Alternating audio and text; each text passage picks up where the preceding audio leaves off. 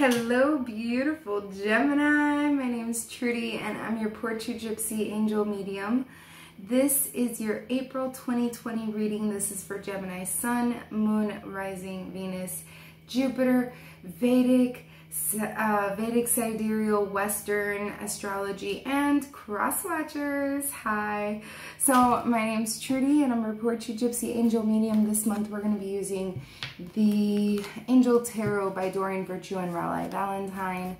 So psh, psh, psh. thank you to those of you this is Gemini, Sun, Moon, Rising, Venus, and Jupiter. This is the most important messages for Gemini. Thank you, thank you, thank you, angels.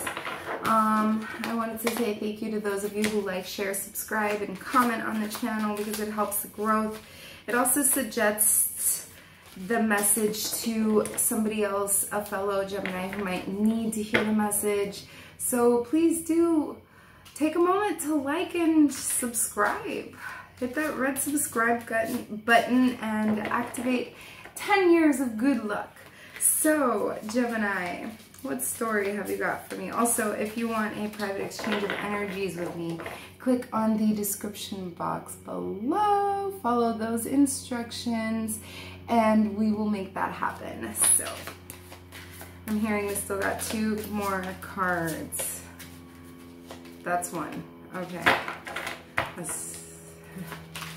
Yes, thank you. All right, so Gemini, Gemini, Gemini. Wow, I want to be a Gemini today.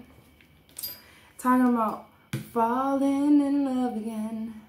Yes, you're falling in love. There is, or perhaps it could be like a reconciliation of a relationship, the deepening of an existing relationship like let's say you're already in a relationship, however, it took on a whole nother level.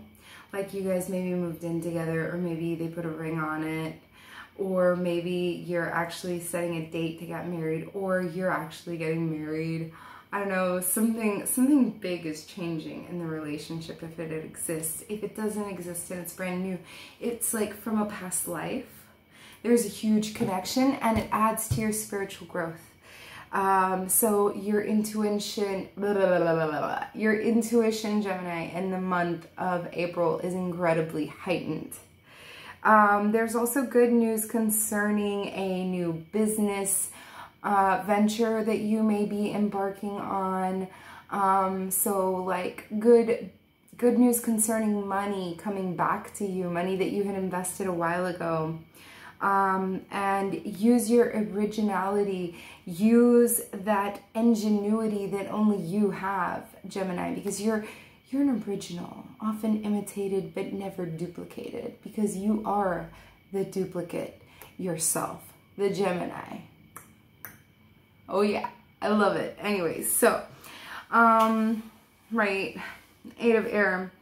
So this is you feeling kind of like you're stuck, you're stagnant, like you can't move, but this is an illusion. It's mental entrapment. It's not real. The illusion is that you're trapped, but it's mental.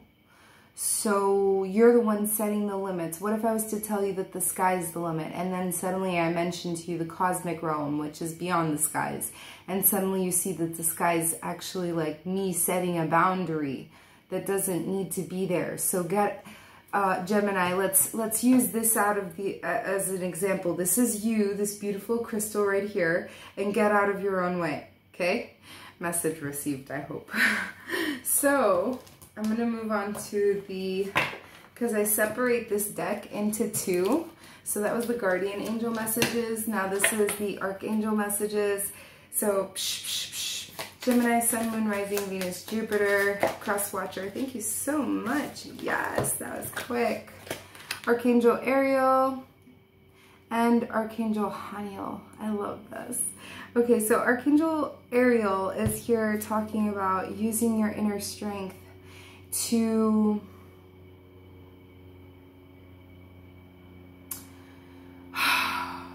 gosh, Gemini, you've been exposed to a lot of harsh judgment. You know, people like blame you, they use you as their scapegoat all of the time. And so you've got a really bad rep And if people judge you, then you know what? You need to look at them like they are incompetent. Pray for them. Pray for their enlightenment. Pray for their forgiveness and give them your compassion.